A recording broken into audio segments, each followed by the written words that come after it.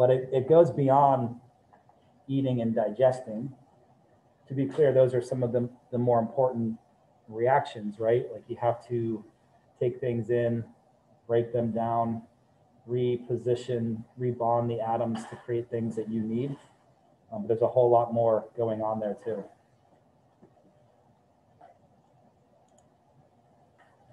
So the hummingbird and all living things is an excellent example of that.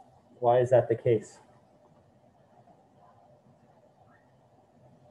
Why would a hummingbird require many metabolic reactions, including those that break down large molecules? Yeah. uses the energy from like whatever it eats to be like pumped into the body. Good. Yeah. So um, any organism needs to be able to convert energy from one form to another in order to be able to stay alive, maintain homeostasis, do things like fly, right? So a hummingbird uses a lot of energy to flap those wings. You, um, have you ever seen a hummingbird not flying? They're cute. I mean, they they like they they perch on trees and they're like this big. They're they're really cute. I mean, but they're they they fly a lot. So they're essentially going from flower to flower or or man-made feeder, collecting energy. So if they're going from flower to flower, what what is their food source?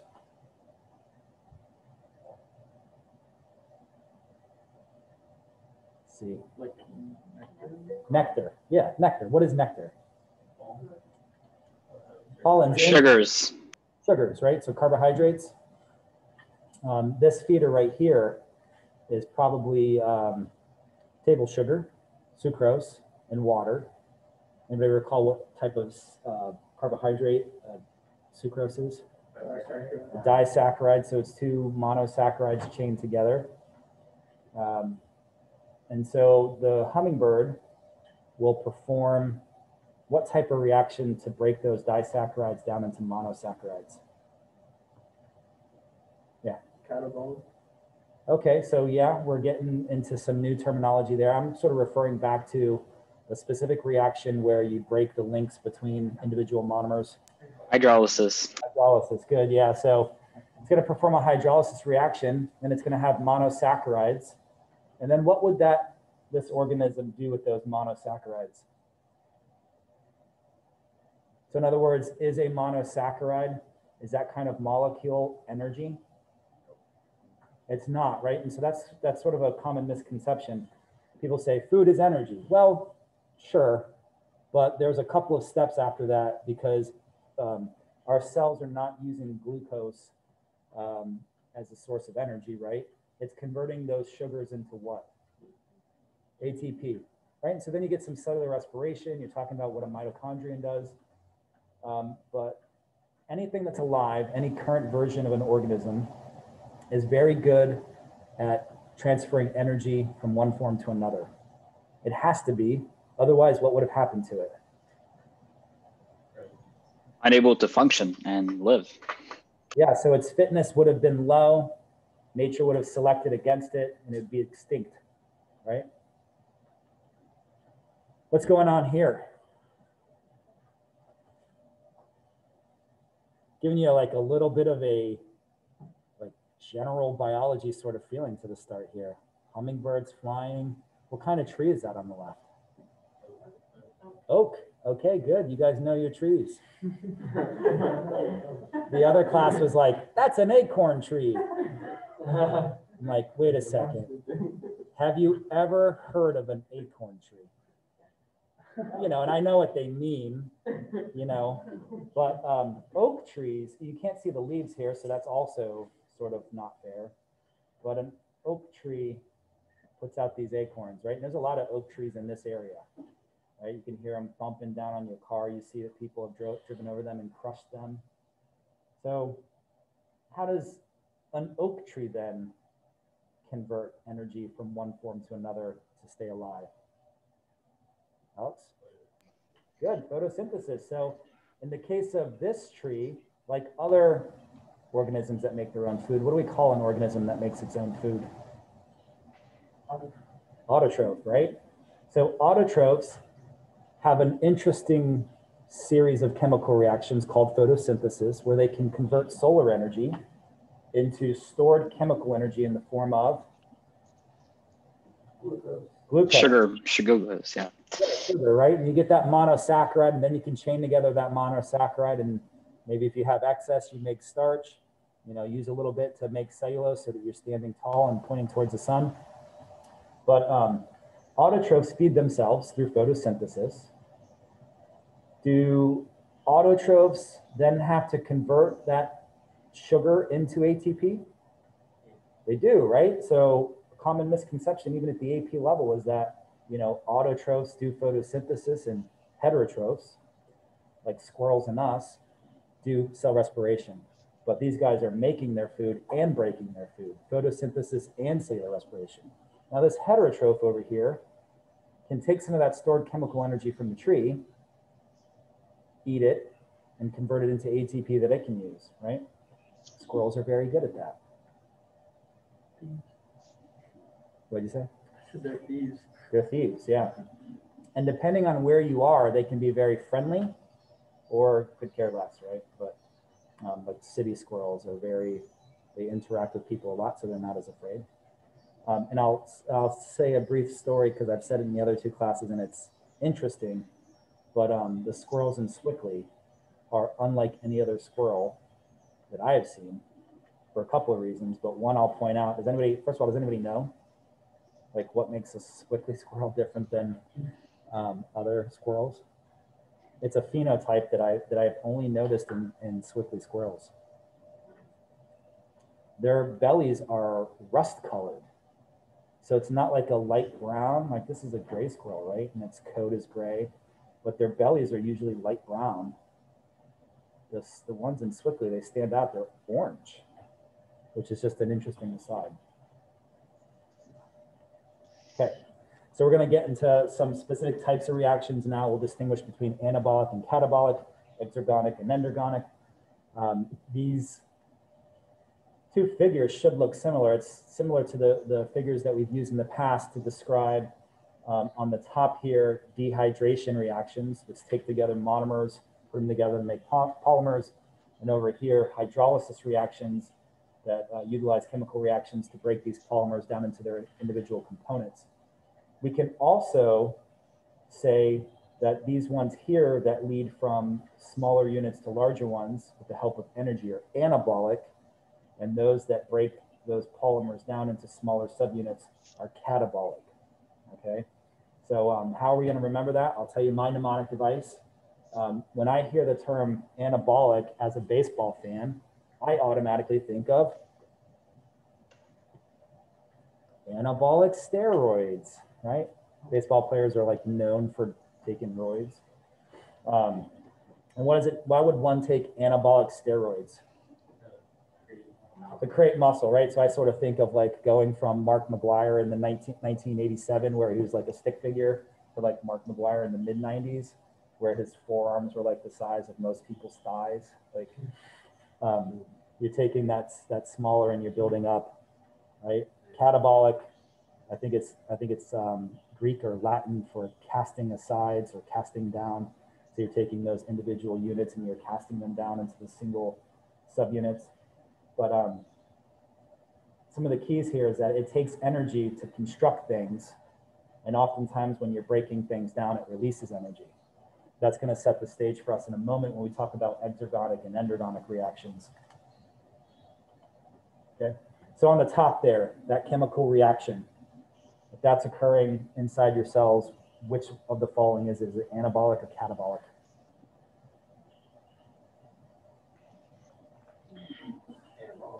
Anabolic because you're going from individuals, taking some energy, joining them together to make a disaccharide. Um, very similar to the dehydration reactions that we've looked at before. The opposite is shown below. You're showing the separation of those two um, joined together monomers and the disaccharide, breaking it down with the water, right? So hydrolysis is what type of reaction? Anabolic or catabolic? Catabolic, good. Okay, so all these scenarios that we're covering, this, setting this up, this discussion up of energy, which is the second half of this um, second unit for us. It's the third unit for AP biology. Um, this third unit is cellular energetics. So really everything in here is about energy. So I want to have a couple of discussions about energy and how it transforms in a biological sense. That's going to require us to do, you know, basic chemistry and basic physics. But it's really important as we set up cellular respiration and photosynthesis. So again, if you're looking at this um, image of a, a moose feeding, um, what can you tell me about some of the transformations of energy in this picture? What's an example of an of transforming energy? Yeah, let's, if you can, start at the beginning. Um, the sunlight, the energy from the sun is then translated on to, it helps the tree grow, like with the use of photosynthesis. Good, yeah, we, we um, had mentioned that this transition here from solar energy and the stored chemical energy in the form of carbohydrates is photosynthesis. So photosynthesis uh, can help an organism like this autotroph, this, this tree here, to feed itself by converting that energy. Good. So, you know, the catch to that is like all of life, whether directly or indirectly, depends on what source then? The sun, right? So even if you're a, a second level heterotroph, the things that you eat or the things that you eat, what they eat, require the sun to feed themselves, right? So that's a little preview for ecology when we get there. But um, what's going on with the heat loss? So in that diagram, you're seeing uh, an arrow going to create chemical energy stored as sugar, but what's with the arrow coming off that reaction?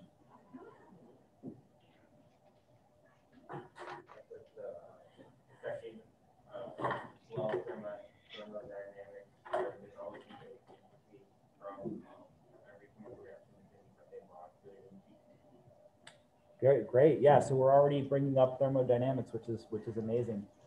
So you're right. Um, no reaction is 100% efficient, and consequently, uh, oftentimes the energy that's lost that creates to this uh, increase in entropy is heat, right? And so living systems, heat is lost. So you lose some of the energy to the environment, which creates that entropy, that disorganization, and we see that at every every transition right? So as you're going from sunlight to sugar, as you're going from sugar to ATP, right? We're losing some energy in the form of heat there, supporting the second law, which is great.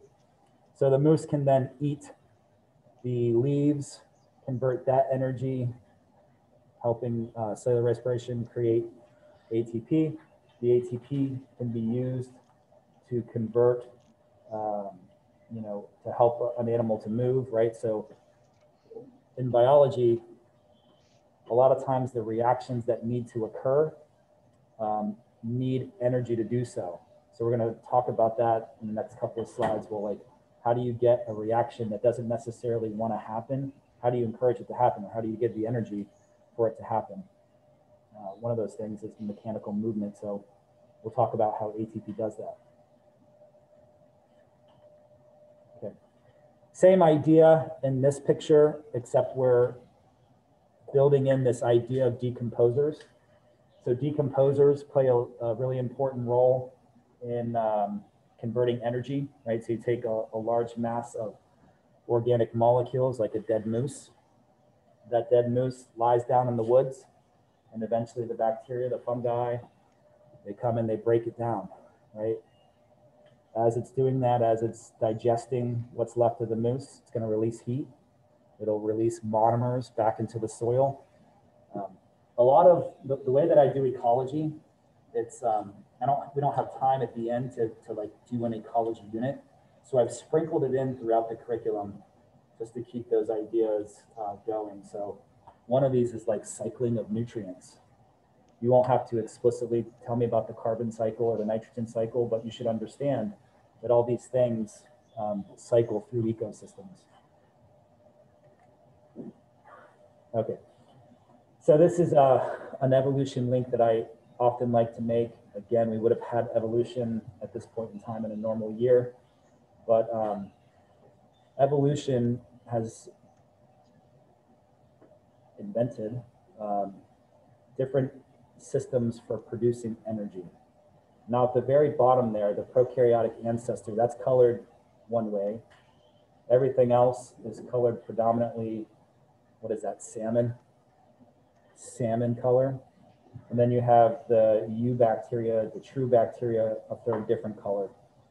So thinking about early Earth and the atmospheric conditions that existed at that time, what sort of energy producing system would have to be in place for our prokaryotic ancestors to be able to, to produce energy?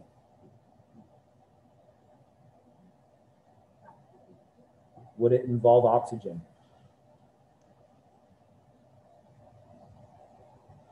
It would not, because very early on, you know, over the four billion years of life, um, Earth did not have a whole lot of oxygen in the atmosphere.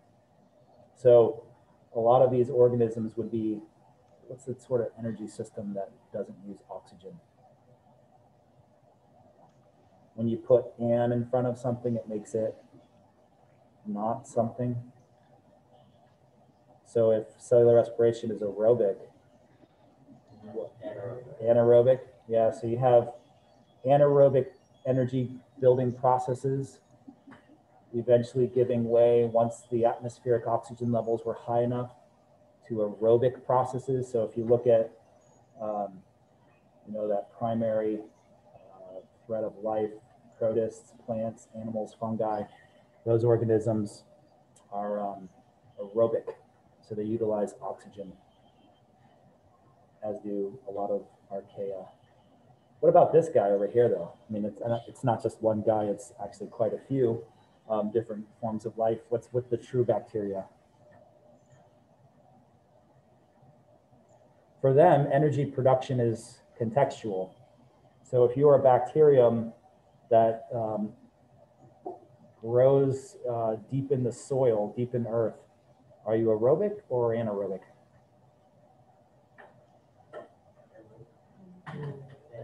Probably an, just because the uh, the uh, amount of oxygen that you need is, not quite high enough at that point of the earth. Um, there's an idea of like, well, this organism is um, an obligate anaerobe, or it's an obligate aerobic organism. What does it mean to be obligated? A little bit of Required. English. What is it? required. Required? Yeah. So when you're an obligate anaerobe, you're required to be anaerobic. For organisms that are obligate anaerobes, the moment they are exposed to oxygen, they die, right? So same thing reversed for an obligate aerobic. But there's a term called facultative. What does the term facultative mean then? So yeast can be facultative. Um, a, a yeast is um, a fungi, um, but I'm using that as an example. There are some bacteria that can do this. When you're facultative, you can take advantage of whatever the environment provides. So, you know, if you find yourself in an oxygenated environment, you can do aerobic. If you're not in an oxygenated environment, you can shift and do um, anaerobic. So those organisms are, are interesting over there. Now, just going back to this, if I said, you know, our ancestors of all of life, they were anaerobic, what does that mean about potentially life downstream of that?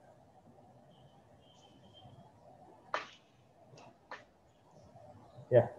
Slowly over time it became uh, the ones that were aerobic had the uh, like the better traits, whereas like uh, the ones that became anaerobic um, went off. So, so organisms that became aerobic, their fitness, their ability to survive and reproduce and pass on their genes increased in that oxygenated environment. And you're right, it makes sense that you would sort of give way to that process. But it's like, um, you know, operating systems on a computer, right? There's a lot of background systems operating. And if a certain system isn't like preventing the computer from working, those systems can operate in the background, right? So if being having the capability to be anaerobic wasn't lowering your fitness, would it would it stand to reason that you could still have that anaerobic ability? In fact, wouldn't having the option to do that in the absence of oxygen probably increase your fitness? Yeah, so for animals like us, can we be aerobic then? Anaerobic?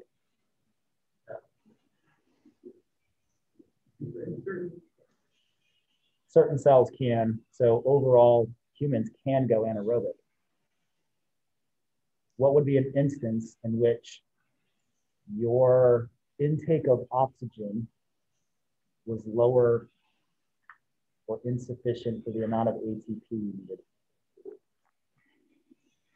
You're like working out pretty hard, you know, um, all that lactic acid, right? Um, in the muscles.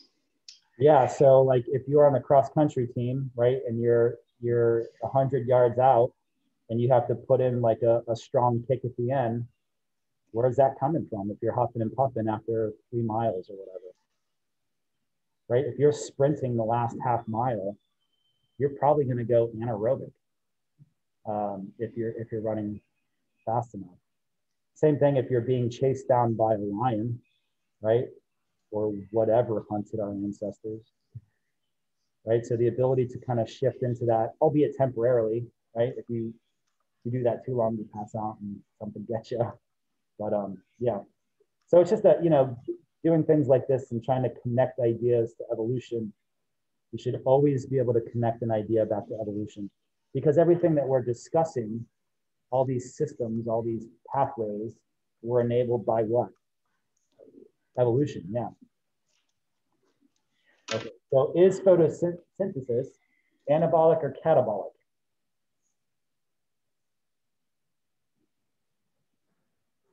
You have to kind of remind yourself of what are the reactants for photosynthesis here, and what are the products, and what are their energy states. Any takers?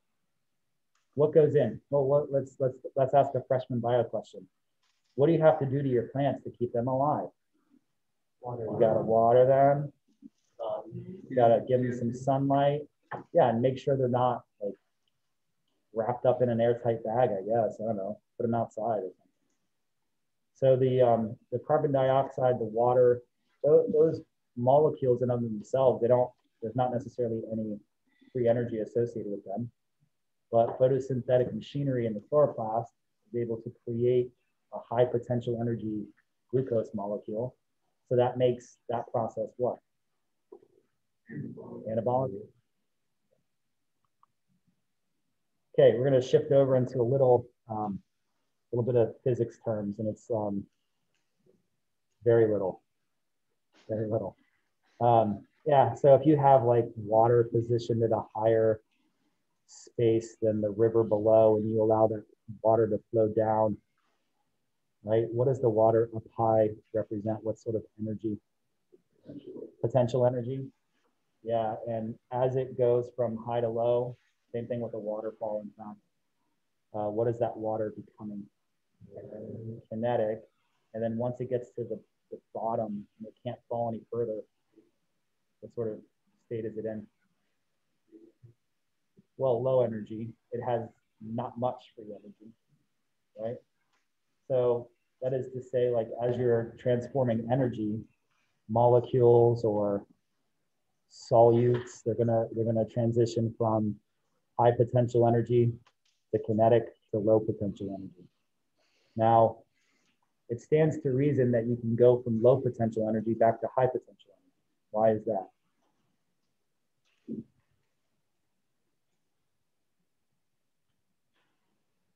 What is uh, some some evidence that you could provide for reasoning? Yeah. There could be another dam from the lower on the river. So that even though compared to the first one, it's at a low position, the second one to have more potential energy. Yeah. Yeah that's that's a good that's a good sort of physical example. What about a biological example? I would offer up the evidence that all of you are here. You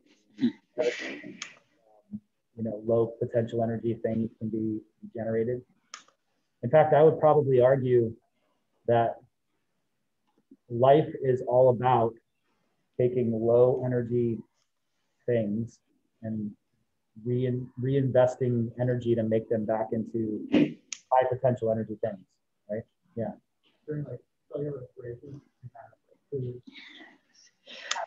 Components for like high. Not necessarily like high energy, like ATP is high energy. Yeah.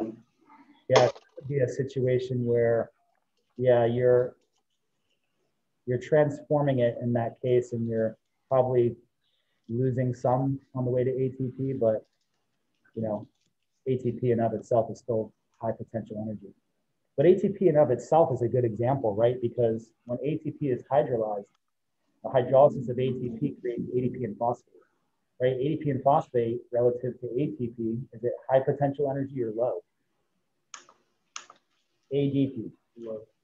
Yeah, low potential energy in ADP, but all of life pretty much functions on the ability to take that ADP and phosphate to recouple the phosphate and make ATP. So it goes on and on and on and on and on. Um, but that's that's just one example. Like everything that we're talking about is an example of that. Okay, here are some examples of that. Um, it's almost like I planned this, right? Like I sat down one day and I said, huh, if I could teach students about diffusion and osmosis and then talk about it as an, as an energy system, boy, would that make me look smart. Maybe. Right? But what's going on in this, in this um, membrane picture? You have a high concentration uh, of solute, whatever it is, on one side of a biological membrane, and it seems to be going down the concentration gradient to the other side.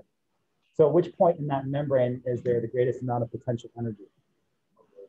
On the far left where the greatest concentration, right? Concentration gradients have a high amount of potential energy, right? And then as the solutes or whatever they are start to transition, they become kinetic, they go from one side to the other, right? The situation ultimately becomes where there's low potential energy because you've reached what in the figure? Equilibrium, right? And so going back to our previous um, discussion on ATP, um, this, you know, we don't allow this to happen in ourselves. We need this to utilize the energy, whatever hap- whatever's happening happening there. So this can be undone and we can create that concentration gradient again. Good. What about in the bottom part, the, uh, the chemistry example? So it looks to me like you have two monosaccharides, they're bound together to a disaccharide. And then what happens? Yeah, they're broken down back into their monosaccharides. Does this require energy? Very little. Very little, but it does. You know, and then you could say technically the energy is stored in those bonds between the monosaccharides, and that energy can be released with the breaking of the bond, right? You spent one or two years at this point in time in chemistry talking about things like that. But again, these are two examples that um, that cells utilize to um, keep that ability to, to um, transform energy possible. Okay, we'll offer another sort of physics, physical science example. Which person in this picture has the greatest amount of potential energy? The diver, the one that Ah, yeah, so he, you know, you can make an argument, well, it's probably about the same, or this guy's this much further down than this guy, right? So I don't know if you still do this in physics or whatever, but, um, you know, which has more potential energy, like this one or this one? I don't know if you can see me. So this one, right? Um, So this guy has been made kinetic. How do you know that there's that the energy is doing something for for this person? Silly questions, but I mean they're, he's they're falling, right? I mean they're they're moving. How could you measure the amount of kinetic energy in that person either this point in time, this point in time, this point in time? Yeah, which we, which we will not, thank God, we will not get into. I'm saying like just conceptually, you know, how could you tell that there's a lot of stored energy here and that the energy is released upon becoming kinetic? I'll tell you a good way, a belly flop. You ever do a belly flop? When you belly flop, what happens? Water flies, yeah, sure. That's true. Well, at first, I mean, it, it really hurts, right? Like whenever somebody does a belly flop, what's the first reaction everybody gets? Oh, you know why? Why do they say that? Because the transference of the potential energy up here to the ground below, that really hurts. You know, so and at that point in time, the person is as far down as they can be in this scenario. So their their amount of potential energy is what? Yeah, zero or very, very low, whatever. Okay. So it's like the same thing with with you know the balls, like more potential energy, less, but when they're at rest, both of them have no potential energy. Right? Well, in this scenario, again, can you regenerate the potential energy? Yeah. Do what? You go to the stairs, do it. I'm going to redeem myself and get back on the, the platform again, and you belly flop again. What did it take if you are down at the bottom with no energy to get back up into that potentially energetic state? Energy, yeah, yeah. So, and that's again, it's just a, it's a biological theme that we are often harnessing energy by going from high to low, by breaking bonds. And at some point, you're at a lower, potentially energetic state.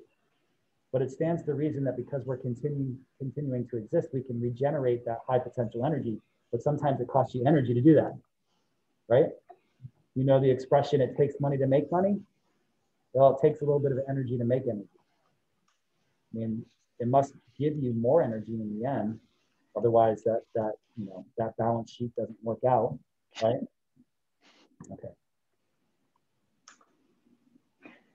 What's this? A car? No. Anybody know what this is?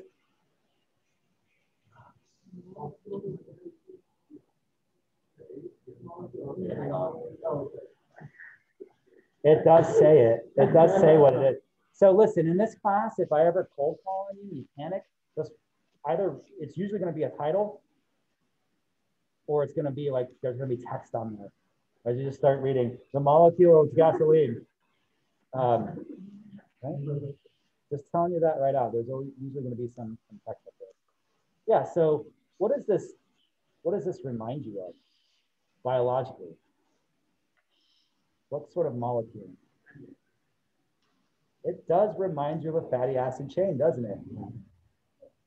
Yeah, so it's carbon surrounded by hydrogens, right? And so if you were Mr. Gallagher, you would just chop these two carbon chunks up. Anybody know what molecule you'd make? I mean, it's not exactly in this picture because it's gasoline, but you know, all roads for, of energy production lead to acetyl CoA. So we'll get there, but like, yeah. So can you eat gasoline? Can. Why not? I wouldn't recommend it. Um, yeah. yeah. I mean, you know, Mr. Gallagher ain't only these and he's okay. so uh, you know, high performance race cars with um, internal combustion engines, they can convert that gasoline into an energy source that can move it, right? I mean, they've designed it to do this uh, sort of thing, just like or, um, organisms have evolved to do the same thing, right? And if we put side by side the things that go into a car and the things that a cell utilizes, um, yeah, one's gasoline and one is glucose in this particular example but the idea is the same. Okay, it's energy conversion, using the energy to do something and spitting out the byproducts that are low energy. Okay, um, of course, just like in the cell, in the pictures that we saw before, none of these reactions are 100% efficient. So you're never going to use 100% uh, of all of your gasoline energy when you're when you're running this car. How do you know that? How could you determine that? What are the signs that a car is not 100% efficient due to various physical forces? Yeah. Well, sure. Yeah. I mean, then you just got a lemon or jalopy, right? It gives off heat, right? And so you can see this a lot in this in the uh, winter time when it's colder outside. So you see the difference. But if you put your hand on a on the hood of a car, it's hot, right? So that's energy loss in the in the engine. Now I am not an engine car nut sort of guy, but I can say the following: it's um, you know uh, internal combustion engine, so it needs oxygen to break it down. Then the pistons inside the engine start pumping. Apparently, that does something where you know you you um, you turn the axle, which turns the wheels. Right, you go. What else are you getting on the back end, literally, of the car? Yeah, gasoline and water, the byproducts, the same byproducts of um, carbon dioxide and water. Same byproducts, by the way, of what process? Cellular respiration, right? So our cells, you know, they have this um, internal combustion engine where you can convert highly energetic, potentially energetic molecules into a usable form of, of energy that can do cell work. You lose some as heat, but you also break down um, and have some byproducts that are, that are not very useful for that, for that system. Let's go back to this a little bit. Again, I'm offering you the physical sort of physics example, the biology example, and the chemistry example. I mean, you could say that they're all bio, but that's that's what we're going for. So I want to roll in this idea of um, delta G. So we're not going to exactly work with Gibbs free energy in here, but I will say plus and minus um, delta G's, and it, and it should mean something to you in a moment. But consider the following examples. Person on high on a platform, a uh, concentration gradient, and uh, a molecule of atoms bound together, okay? Let's call it glucose. So in all of these scenarios, these things have um, a high delta G, high, high Gibbs free energy, right? So there's more energy to do work in all three of those scenarios. Here's where it gets a little interesting. They're all less stable, okay? So this one is sort of weird. Yeah, he's, he's less stable um, because if he goes to the end and he just lets go, what happens? Falls, whereas that doesn't happen when it's water, right? So same thing here. These guys are not stable. They want to move from high to low. Believe it or not, too, the molecules that we create like glucose, those atoms don't want to be bound together. I know I'm anthropomorphizing a little bit. There's no such thing as want, but the, the energy of it is such that they would be fine with breaking apart, right? You have to force them together.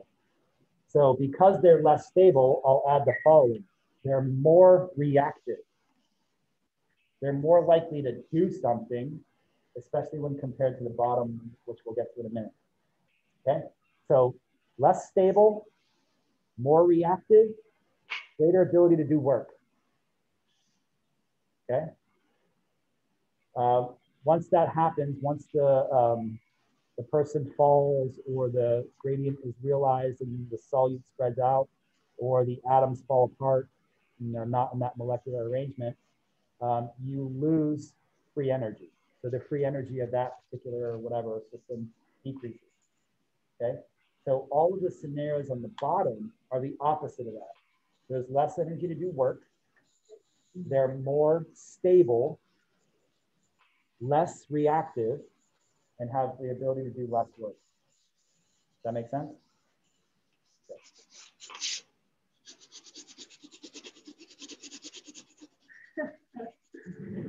Got to change that. All right, let's watch a video to um, break that down a little bit.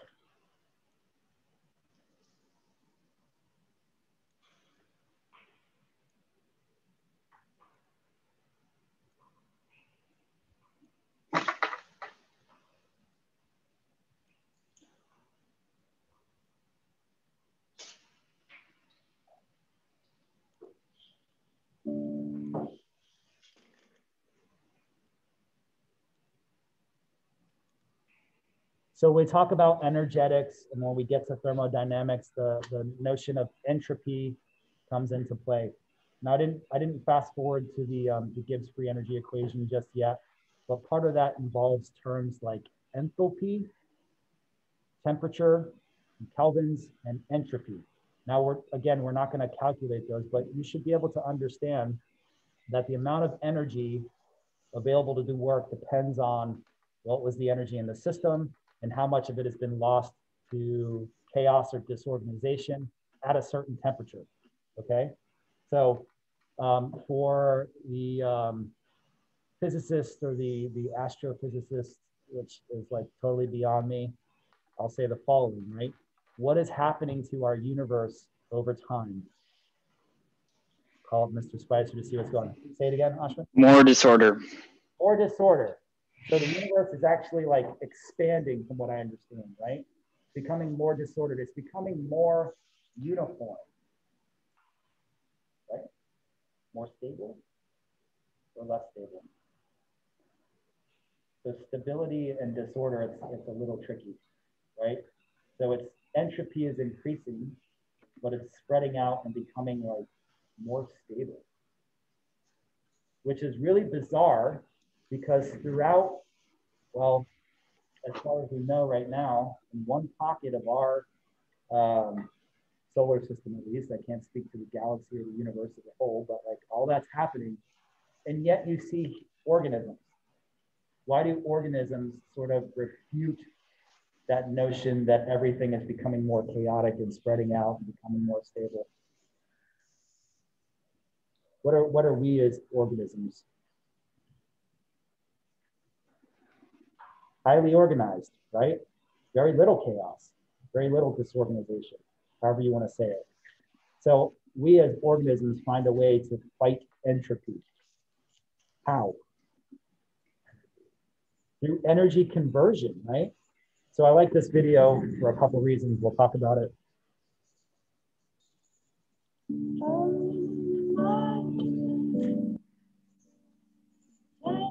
Thanks to Brilliant for supporting this episode of SciShow. Go to brilliant.org slash SciShow to learn more about their 60 slot interactive course.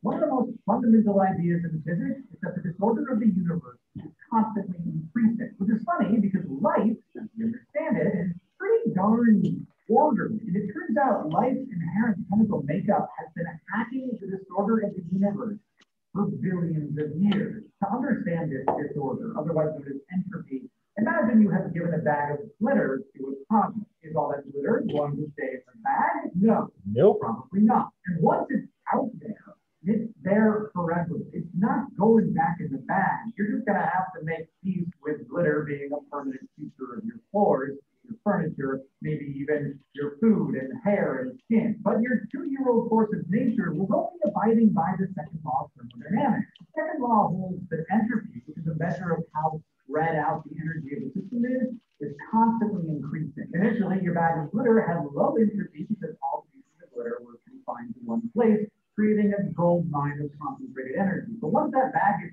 open, that energy gets converted to movement as the glitter particles spread throughout the room. And after you finally manage to distract the child with an applesauce from the SciShow Kids video, the glitter will have come to rest on every imaginable surface. This is a I can speak from experience that when it comes to two year olds and things like bags of glitter, it will open, it will spread out. And um, the only way that you'll stop the chaos that, that's happening there is with an applesauce. like the way, like the, the, the level that little kids are drawn to little applesauce pouches, it's remarkable. Like whoever put applesauce in a pouch is brilliant, and I hope they're a bill- I hope they're a billionaire because it's like applesauce always saves the day. say a higher for two reasons. One, the glitter pieces are no longer together, and two, the energy of the bag has been spread out. And without energy, that glitter isn't going anywhere. Unfortunately, this is usually a one-way process. Energy never really just concentrates in one spot on its own. Like glitter never just jumps back into its bag. Except for organisms. So guys, what's so remarkable about this is like, yeah, all that is true. The glitter is going everywhere. It's it's spreading out. Everything's becoming chaos. And then there are like instances on Earth, all of us, where every night we're able to put the glitter back in the bag. You are able to put the glitter back into the bag every night and, and not let the entropy overcome you, right? So the reason that we eat, you need the take in the, the energy that you can transform into ATP to do all the metabolism to fight the entropy, right? Like, I mean, that's, it's amazing, right? It's, it's just absolutely amazing. Yeah, cells basically make that happen, like for their entire existence, because life has mastered the art of concentrating energy, what you might call entropy. The most obvious example is membranes, which are a universal requirement for cellular life. They are protective barriers surrounding their cells, and they're made out of millions of lipid molecules, basically fat, organized in two parallel sheets, which, as far as entropy for the lipid goes, is basically a worst case scenario. They're crammed in like college kids at a basement frat party, whereas entropy would favor them spreading out as much as possible. But unfortunately for them, lipids don't exist in a vacuum. They live in us.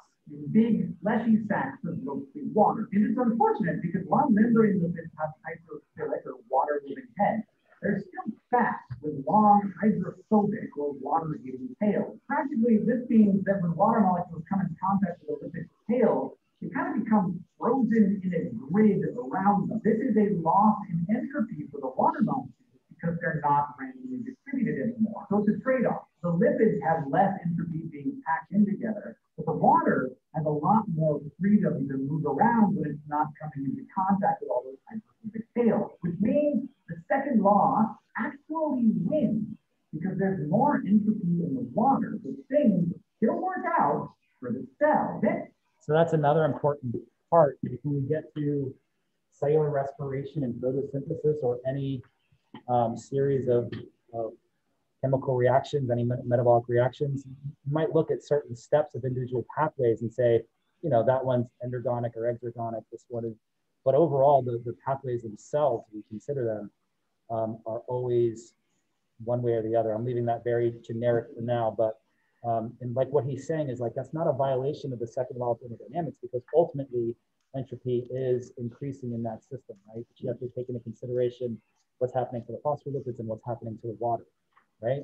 So it, still wins out. It's just you have to consider like how much of it is the water, how much of it is the lipid.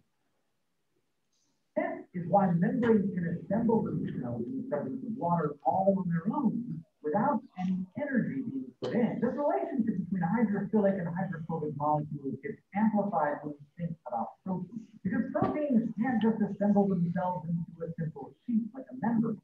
Are how cells do like nearly everything. But to do their job correctly, they need to take the proper shape. And that's harder than it sounds. Or it should be. Every protein starts out as a linear strand of amino acids that have to fold into an incredibly specific three-dimensional shape. And there are trillions of wrong ways you could fold these bent ribbons to end up with a non-working protein. A researcher named Cyrus Levinthal was postulated that if an average protein randomly tried out all of these long shapes, it would take more time than life has existed on Earth. We're pretty sure they managed to fold correctly somewhat faster than that. So the question is, how do these proteins consistently not only get it right, but do it fast?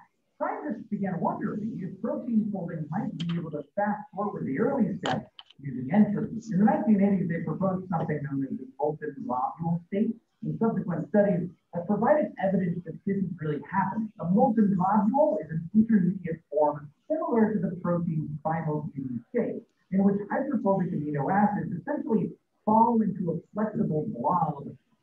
And if you, if you look at this, this um, this weird graph, right? Like proteins in their unfolded state have lots of entropy, right?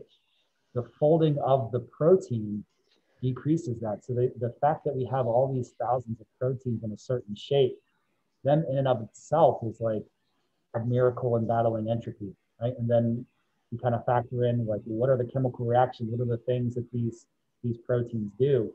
And all of its like metabolic pathways are converting energy from one form to another. At the center of a baby protein away from the water. The idea behind this model is similar to membrane If you cram most of the hydrophobic amino acids into the center of a protein, it allows the water molecules to move freely. And even though this means the amino acids are then restricted in how they can move, the net gain of entropy for the water should still be favorable. So same idea, second law still wins out, even though the amino acids are restricted and not to, not uh, allowed to increase in entropy. Overall, the water still is around it, so the second law still wins out. We do see a lot of proteins that keep their hydrophobic regions tucked away. It makes sense that that's how they start folding. Most importantly, this would also partly explain how proteins fold so fast. They skipped a bunch of steps by eliminating a bunch of wrong scenarios. At some point in trillions and trillions of years, entropy might be the undoing of life altogether as everything in the universe becomes completely uniform. But for the last four billion years or so, it's made life possible, which is a little bit paradoxical, but definitely very cool. If only it could put the glitter back in the bag. If you need a reason. So um, I think that's I think that's fascinating, right? you put the glitter back into the bag every night. What happens when entropy wins?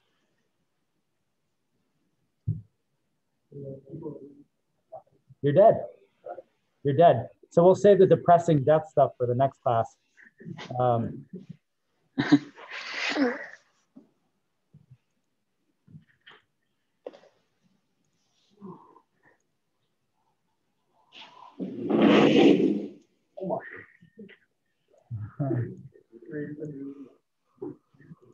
Okay. So I want to introduce um, some additional definitions of certain types of reactions here. I want to introduce exergonic and endergonic. Okay. So just looking at these figures, um, really quickly, an exergonic reaction is one that releases energy. An endergonic reaction is one that takes on energy. So you can see that in the following ways. So for an exergonic reactions, the reactants have more energy than the products, okay? So we can see that from here to here. Um, that's the difference um, with the starting materials and the ending materials. So it's released, whereas in endergonic reactions, you start here and you end here. So which of these is anabolic and which of these is catabolic? We'll start with exergonic. Catabolic, and these ones, endergonic. So what does this whole delta uh, G mean? What is it showing? For exergonic, delta G is less than zero. Why would it make sense that you'd have a negative delta G in an exergonic reaction? Energy has been released. Yeah. So in a situation like that, the, the go-to for me is like um, ATP hydrolysis right? We talked about that. Um, well, what would your delta G then be if you're investing energy into a system like this endergonic reaction? Positive. Positive, right? So that's as complicated as we'll get with, with free energy, right? So if it goes up, you know, your, your reactants have had energy added to them, so the products would be more energetic. They'd have the ability to do uh, work. Okay. One other thing with exergonic reactions. So exergonic reactions are spontaneous. What does that mean? So you don't need to put energy into the system for this to happen. Now that might not cut it for living things. Um, we might need this reaction to happen at a faster rate than it would without energy invested into it. So in that case has given us a certain type of protein that can speed those sorts of things up. What is that protein? Enzyme? Good. So we'll get to enzymes next time. But here, spont uh, spontaneous reactions occur without energy. But if you're going to go from low to high and um, have a positive delta G, this means you have to invest energy, right? So energy has to go into that system for that to occur. Okay. So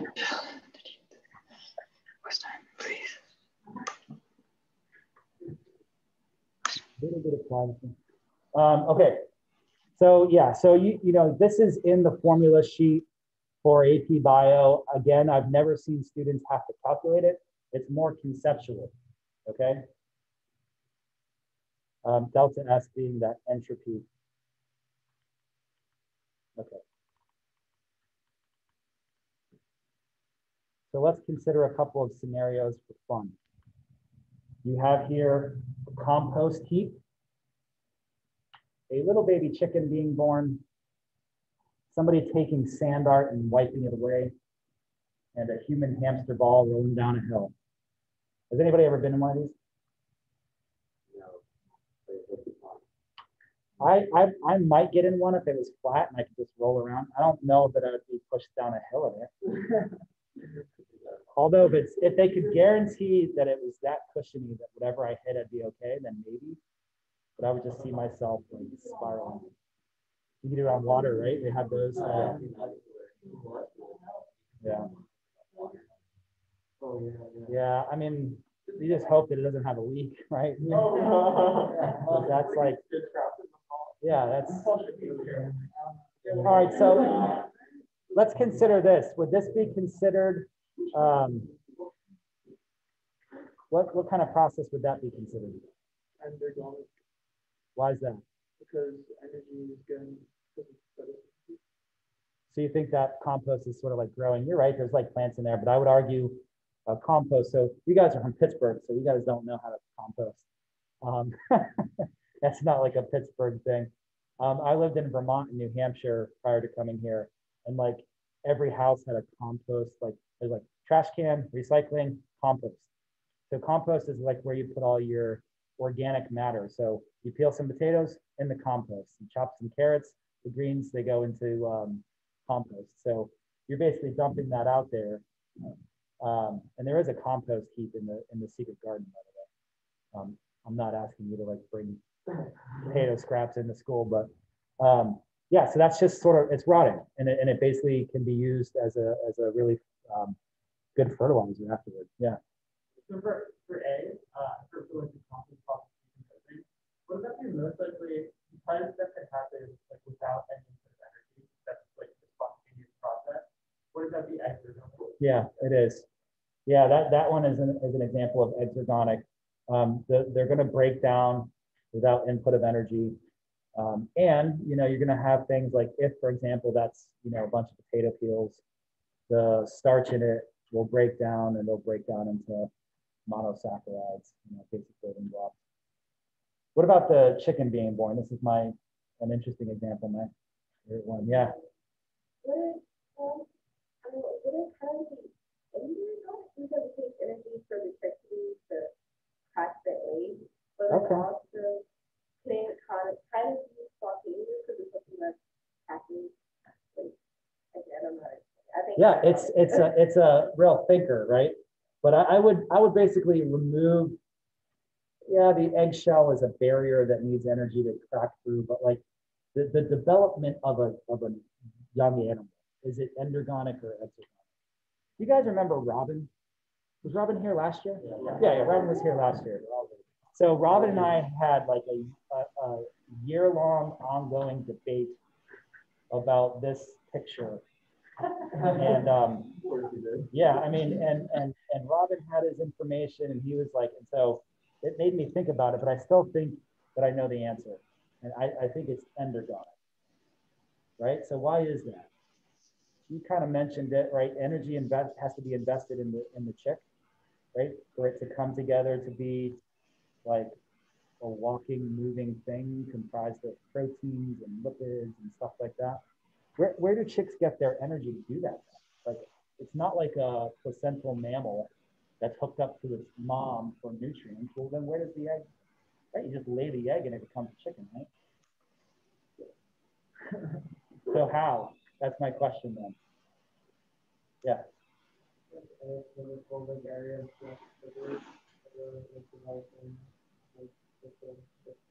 Yeah. Yeah. I mean, when you think about it, when you crack an egg open for breakfast, this stuff comes spilling out, right? Like, what is that stuff in besides delicious breakfast? It's the stuff that would have gone to like feeding and developing the chick, right? um, part of it becomes like, you know, the proteins to assemble the chicken, then the yolk is like feeding the, the, the organism, right? Um, do humans have yolks?